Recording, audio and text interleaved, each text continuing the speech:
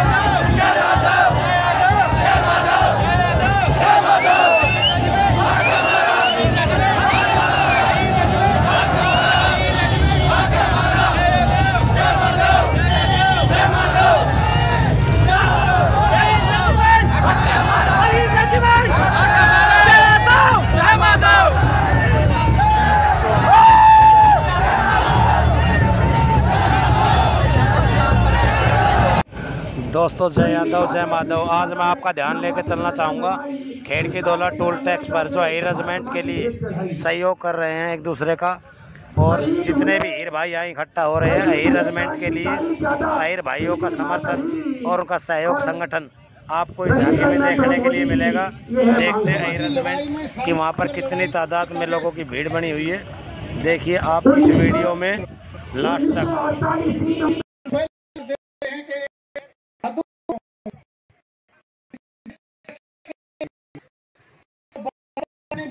कितनी ज़्यादा तादाद में यहाँ पर औरतें भी सहयोग के लिए आई हुई है। राव इंद्रजीत ने फुल समर्थन देते हुए कहा है कि वो जाके प्रधानमंत्री नरेंद्र मोदी से मिलेंगे और रेजिमेंट के लिए पर्सनली तौर पर भी मांग करेंगे। इस सहयोग के लिए हम राव इंद्रजीत सिंह का अपनी दिल की गहराइयों से हार्दिक धन्यवाद करते हैं। और आप देखना इस वीडियो में स्टेज पर अभी अभी जो जो मैन आदमी, मैन इस एरिया के लीडर्स वो सभी मौजूद हैं। इस मंच पर देखिए, वीडियो में लास्ट तक। और ये बहुत बड़ी बात है कि 10 दिन के अंदर प्रधानमंत्री जी से मिलने की व्यवस्था की जाएगी और राविंदर सिंह जो इस एरिया से एमपी है, वो मिलेंगे हाई रेजिमेंट के हक में प्रधानमंत्री श्री नरेंद्र मोदी जी से। मैं मान के चलता हूँ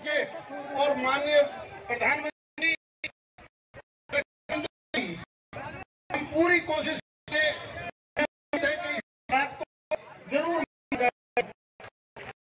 मैं और राव इंद्र जी लोगों के साथ ही जब एक प्रतिनिधि मंडल हमारे से मिला तो हमने माननीय राजनाथ जी से टाइम लिया है। अभी क्योंकि 25 तारीख तक वो ज़्यादा बिज़ी हैं उत्तर प्रदेश और उत्तराखंड की सरकार बनाने में। और उन्होंने हमारे को दिया है मेरे जीत को कि बहुत जल्दी आपका प्रतिनिधि इस मंडल से मिलकर वो सारी बात सुनेंगे ताकि कोई समस्या का समाधान हो। देख रहे हैं आप कितनी ज़्यादा तादाद में यहाँ पर लोगों ने भीड़ इकट्ठा की है। जितने भी अहीर भाई हैं अपना सभी सहयोग करने यूपी बिहार और राजस्थान एमपी तक के आदमी यहाँ पर आए हुए हैं अहीर रेजिमेंट के लिए।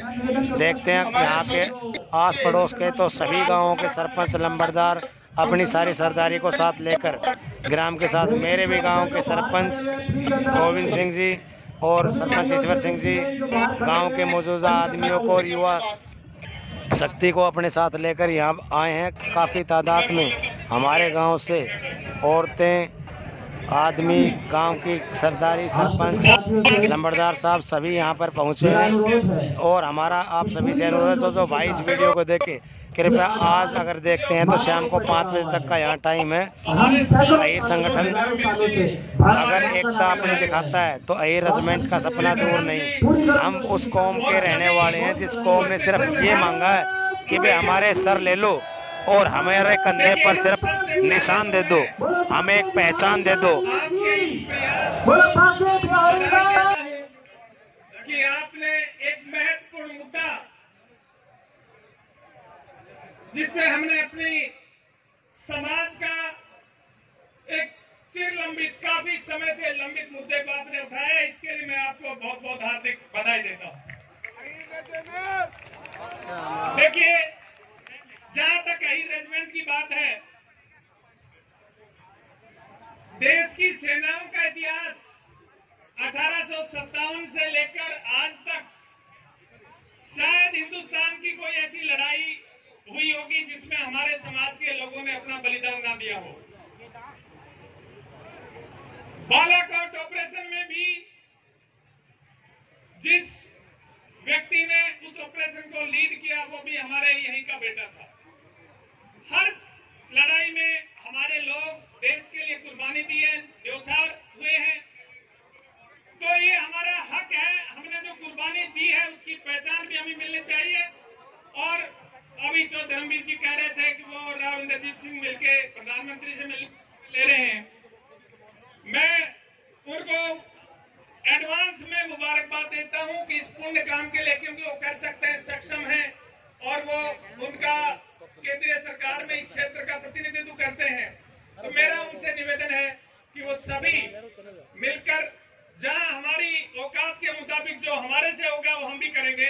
लेकिन सभी मिलकर इसके लिए अपना प्रयास करें।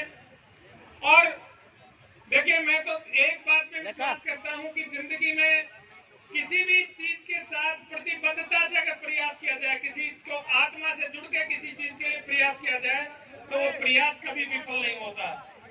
क्योंकि दुनिया में दो चीज़ें ऐसी हैं मैं समझता हूँ जो हर व्यक्ति पर नज़र हैं। एक तो ऊपर वाला परमात्मा और दूसरा समाज। समाज की दृष्टि से भी किसी का कुछ भी नहीं छुपा हुआ होता और परमात्मा की दृष्टि से भी किसी का कुछ नहीं छुपा होता। तो अपनी ड्यूटी समझ के, फ़र्ज़ समझ के हर आदमी अपना प्रयास करे और सुबह बोरा जी, वजीराबाद से हमारे बीच है। उनका स्वागत, अभिनंदन है। जीतू भाई से अपने साथ उनका स्वागत। जी हमारे लगातार आंदोलन में सक्रिय निभा है आपका हार्दिक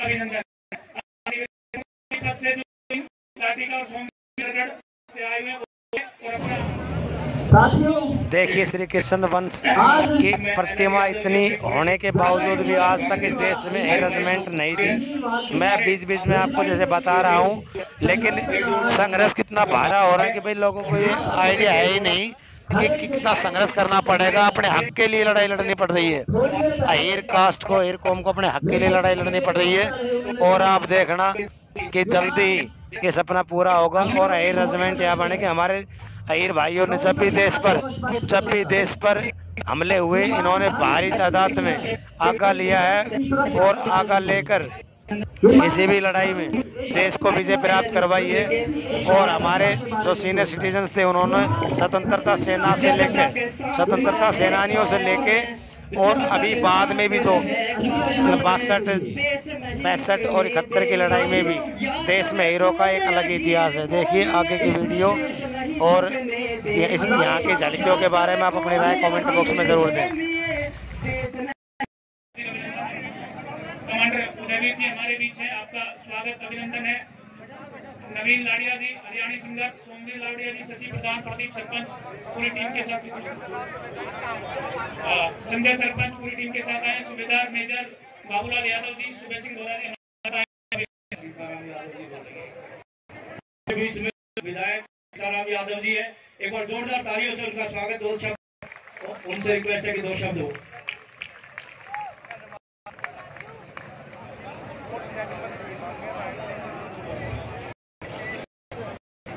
और भारत माता की भारत माता की बहुत ही सम्मान के नागचौर विधायक डॉक्टर अभय यादव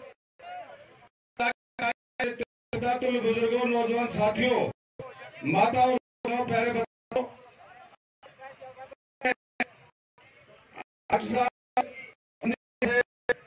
अभी तो मैं भी बातें मैं आपको चाहता हूँ कि हम अपने जो सामर्थ्य लोगों ने हमें खड़े हैं तो हमारी जिम्मेवारियाँ हमें जिम्मेवारियाँ देंगे। हम समर्पित भाव से जिम्मेवारी को हम निभाएँगे और हम आपके इस कार्यक्रम को आप करते हैं और इन्हीं सब मैं आपको समर्पित, समर्थन करते हुए अपने को विराम देता हूँ। बहुत बहुत आपका धन्यवाद। जय हिंद, जय भारत